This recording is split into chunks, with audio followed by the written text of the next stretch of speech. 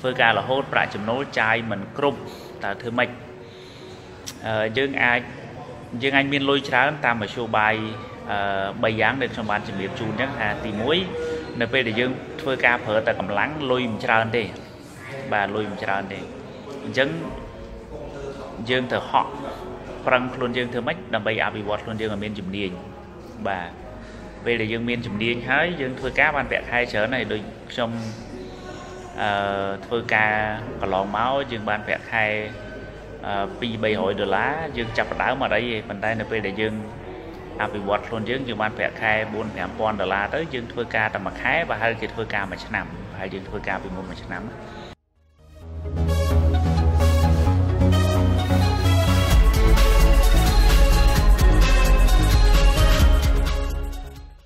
ខ្ញុំខ្ញុំចែកម្លែកបងប្អូនមួយអឺ កត្តាដែលធ្វើខ្ញុំរីកចម្រើន សម្រាប់បច្ចុប្បន្នឥឡូវនេះថ្មីថ្មីជាទូទៅ ក្នុងមួយសប្តាហ៍ឧទាហរណ៍មួយសប្តាហ៍7ថ្ងៃអញ្ចឹងអញ្ចឹងរៀងរាល់ថ្ងៃច័ន្ទគឺជាថ្ងៃដែលខ្ញុំគិតពីយុទ្ធសាស្ត្របាទគឺថាយើងយើងរៀបយើងគិតយើងរៀបផែនការយើងរៀបយុទ្ធសាស្ត្រហ្មងព្រោះថ្ងៃច័ន្ទដើមសប្តាហ៍អញ្ចឹងកាលណាដែលយើងមាន ការគិតថ្មីយើងមានយុទ្ធសាស្ត្រថ្មីអញ្ចឹងគឺខ្ញុំយកថ្ងៃច័ន្ទគឺជាថ្ងៃយុទ្ធសាស្ត្រ អញ្ចឹងផែនការមានហើយត្រូវត្រូវ review វាឡើងវិញត្រូវមើលវាឡើងវិញតាណាដែលល្អតាណាដែលត្រូវកែលម្អអីចឹងណាអាហ្នឹងគឺរឿងថ្ងៃច័ន្ទហើយដល់ពេលថ្ងៃសៅរ៍ហើយយើងប្រតិបត្តិការពីថ្ងៃច័ន្ទគៀពុទ្ធពសុកសៅរ៍មកមកដល់ថ្ងៃសៅរ៍ពេលរសៀលគឺមកពេលរសៀលថ្ងៃសៅរ៍ហ្នឹងគឺជាថ្ងៃដែលជារសៀលដែលពួកខ្ញុំជួបជុំគ្នានិយាយអំពី របៀបក្នុងការគ្រប់គ្រងរបៀបក្នុងការដឹកនាំក្រុមហ៊ុនបាទឧទាហរណ៍ដែលយើងចង់ឲ្យក្រុមហ៊ុនរបស់យើងកាន់តែរឹងមាំកាន់តែមានប្រាក់ចំណេញកាន់តែមានអតិថិជនជឿជាក់ទុកចិត្តច្រើនហ្នឹងតើតើយើងត្រូវដឹកនាំរបៀបម៉េចបាទហើយការគ្រប់គ្រងរបស់យើងរបៀបម៉េចការលើកទឹកចិត្តបុគ្គលិករបស់យើងរបៀបម៉េចកត្តាផលិតផលរបស់យើងយ៉ាងម៉េចអីយ៉ាងម៉េចចឹងយើងខ្ញុំធ្វើអស់ចឹងចឹងបងប្អូនចឹងអាហ្នឹងគឺជាអឺប្រយោជន៍បាទ ហើយទស្សនវិស័យរបស់ខ្ញុំខ្ញុំចង់ឃើញយុវជនយើងហ្នឹងគឺមិនត្រឹមតែពូកែសមត្ថភាពលើសមត្ថភាពចែកទេសទេ ចង់ឃើញយុវជនរបស់យើងហ្នឹងស្មារតីក៏រឹងមាំ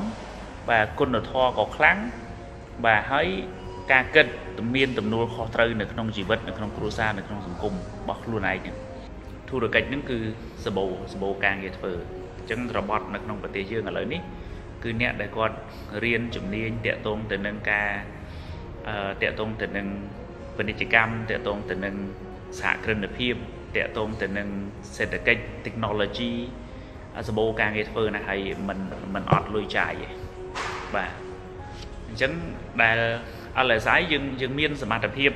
ក្នុងការជួយនិស្សិតនិងយុវជនរបស់យើងទាំងអស់ហ្នឹងឲ្យគាត់ស្ថិតនៅលើមេគាហ្នឹងបាទពួកយើង ពួកខ្ញុំក្នុងនាមជាស្ថាបនិកក្នុងនាមជាម្ចាស់ LSI ដែលខ្ញុំបង្កើត LSI ហ្នឹងគឺខ្ញុំមានទស្សនវិស័យវែងឆ្ងាយហើយស៊ីជម្រៅរបស់ខ្ញុំគឺខ្ញុំចង់យើងយើងមើលឃើញដោយប្រទេសសិង្ហបុរីអញ្ចឹងជាកោះមួយដែលទូចហើយអត់មានធនធានធម្មជាតិទេប៉ុន្តែ គឺគេច្នៃមនុស្សអញ្ចឹងគឺចុងក្រោយសិង្ហបុរីគឺគេលក់ខួរក្បាលបាទគេលក់ខួរក្បាលដោយសារធនធានមនុស្សរបស់គេទាំង វិស្វករទាំងអ្នកជំនាញទាំងអ្នកសេវាកម្មទាំងអ្នកជំនួញទាំងអ្នកអីហ្នឹងគឺយើងមើលសិង្ហបុរីគឺជាជាកោះដ៏តូចមួយទេប្រជាជន5 6លានអ្នកទេអញ្ចឹងសួរហេតុអីបានសិង្ហបុរីគាត់គាត់លេចអណ្ដែតនៅក្នុងអាស៊ីហើយល្បីនៅលើពិភពលោកគឺដោយសារតែកត្តាខួរក្បាលកត្តាធនធានមនុស្សបាទអញ្ចឹងខ្ញុំខ្ញុំមើលឃើញថាអឺយើងក៏អាចទៅរួចដែរយើងក៏ក៏ខ្លាំងដែរគ្រាន់តែថា អ្វីដែលយើងអភ័ព្វអភ័ព្វត្រង់ថាប្រទេសយើងយើងឆ្លងកាត់សង្គ្រាមឆ្លងកាត់ចំនួនឆ្លងកាត់សង្គ្រាមអីច្រើនហើយបើសិនជាយើងមានសន្តិភាពយើងមានស្ថិរភាពអញ្ចឹងយើងបន្តស្ថិរភាពបន្តសន្តិភាពអញ្ចឹងខ្ញុំគិតថា10ឆ្នាំ20ឆ្នាំអីទៅមុខទៀតគឺកម្ពុជាយើងមិនខ្វះទេធនធានមនុស្សដែលពូកែពូកែអញ្ចឹងជាឱកាស ប៉ុន្តែនៅក្នុងរបត់នឹងមួយទៀតយើងយើងស្របពេលជាមួយនឹងការពិវត្តរបស់សង្គមស្ថិរភាពរបស់យើងហើយសមារណកម្មសេដ្ឋកិច្ចនៅក្នុងតំបន់និងនៅក្នុងពិភពលោកឥឡូវនេះបើយុវជនកម្ពុជាយើងដែលយើងមើលឃើញថាការធ្វើជំនួញបាទការធ្វើជំនួញអឺជំនួញហ្នឹងគឺមានន័យថាយើង យើងជួញដូរផ្នែកម្ហូបអាហារផ្នែកសម្ភារៈសំណង់ឬក៏អីក៏ដោយប៉ុន្តែការធ្វើគេហៅ human trade human goods ឃើញថារឿងរ៉ាវច្រើនណាស់ដែលល្អល្អសម្រាប់សង្គមយើងអញ្ចឹងកាលណាដែលកាលណាដែលវត្តមានរបស់ LSI គឺយើងជួយឲ្យនិស្សិតឲ្យយុវជនដែលគាត់មករៀនហ្នឹងគឺគោលដៅចុងក្រោយឲ្យគាត់คล้ายទៅជាសហគ្រិនវ័យក្មេងរបស់កម្ពុជា ហើយហេតុអីបានបានបានយើងចង់ឃើញគាត់ទៅអញ្ចឹងពីព្រោះនៅពេលដែលយើងជួយសហគ្រិនម្នាក់ឲ្យគាត់ជោគជ័យឲ្យគាត់ខ្លាយទៅជាម្ចាស់អាជីវកម្មខ្លាយជាសហគ្រិនគាត់មិនមែនត្រឹមតែមានការងារធ្វើខ្លួនគាត់ទេគឺគាត់នឹងបង្កើតការងារឲ្យកូនខ្មែរយើងដតីច្រើនទៀតអញ្ចឹងមានន័យថាបើម្នាក់បង្កើតការងារ10នាក់អញ្ចឹង100នាក់បង្កើតការងារឲ្យ1000នាក់អញ្ចឹង1000នាក់អាចបង្កើតការងារឲ្យ10000នាក់អញ្ចឹងអានឹងគឺសំខាន់ណាស់ តែបើសិនជាអត់លទ្ធភាពជាងនឹងនិស្សិតម្នាក់ដែលគាត់មករៀនបរិញ្ញាបត្រផ្នែកគ្រប់គ្រងអាជីវកម្មខណៈទុយនឹងមធ្យម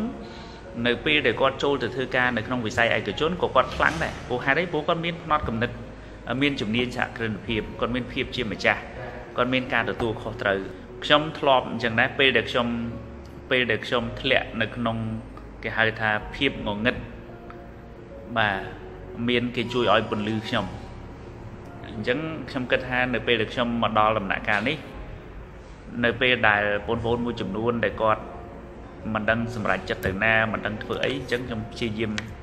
ឲ្យជាគំនិតយោបល់ខ្លះខ្ញុំគិតថាវាជាការធ្វើបុណ្យជាការធ្វើទានគឺមានតែផ្លូវពីរឯងទី1បើទៅធ្វើការនឹងខ្លាយទៅជាបុគ្គលិកឆ្នើមហើយធ្វើការ3ឆ្នាំ5ឆ្នាំ10ឆ្នាំក្រោយគឺសម្លឹងមើលតំណែងអគ្គនាយកបាទតំណែងអគ្គនាយិកាប្រាក់ខែរាប់ពាន់ដុល្លារ ទី2ផ្លូវទី2រៀនចេះហើយទៅចាប់ផ្ដើមអាជីវកម្មដោយខ្លួនឯងហើយហេតុអីបានជាខ្ញុំរុញគាត់ឲ្យទៅចាប់ដើមអាជីវកម្មខ្លួនឯងពីព្រោះនៅពេលដែលគាត់ទៅចាប់ដើមអាជីវកម្មមួយបានគឺមានន័យថាគាត់បង្កើតការងារឲ្យកូនខ្មែរយើងដទៃទៀតធ្វើការអញ្ចឹងបងប្អូនគិតថាល្អអត់វាវាប្រសើរជាងយើងរៀនចេះហើយយើងទៅរកការងារធ្វើខ្លួនឯងបាទដូចខ្ញុំពេលដែលខ្ញុំខ្ញុំរៀនពេលដែលខ្ញុំចេះខ្ញុំទៅធ្វើការខ្ញុំម្នាក់ឯង ខ្ញុំទៅ just get one job